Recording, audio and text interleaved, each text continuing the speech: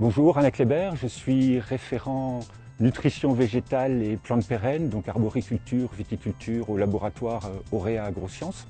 La question du jour est le prélèvement de sol en viticulture. Donc il y a deux types de prélèvement de sol.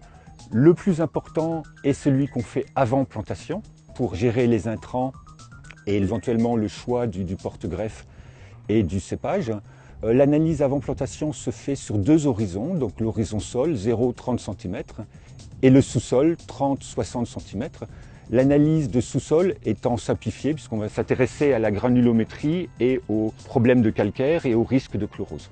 Deuxième type d'analyse, l'analyse en cours de culture, où là on va prélever sur le premier horizon, donc 0-30 cm, et là on prélève toujours sur le rang, de part et d'autre du rang. On ne prélève jamais dans l'interrang.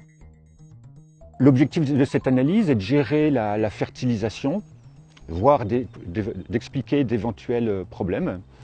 Euh, donc là, on, on, distingue bien deux objectifs à l'analyse. L'analyse de contrôle, où on va choisir une, une, zone homogène ou représentative de la parcelle et faire une quinzaine de prélèvements sur une dizaine de rangs. Quant à l'analyse devant expliquer un problème, on va se focaliser là sur la zone où se situe le problème. Bonjour, je vais présenter une tarière de type gouge utilisée en période de sol frais.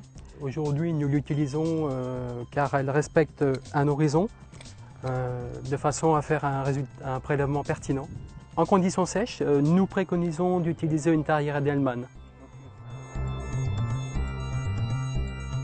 Deuxième chose très importante, c'est le fait que l'échantillonnage est la base de l'analyse, les résultats d'analyse ne représentant que l'échantillon, d'où l'importance de la qualité de prélèvement, mais aussi l'importance de bien remplir le questionnaire ou la fiche de renseignement pour la qualité d'interprétation à suivre.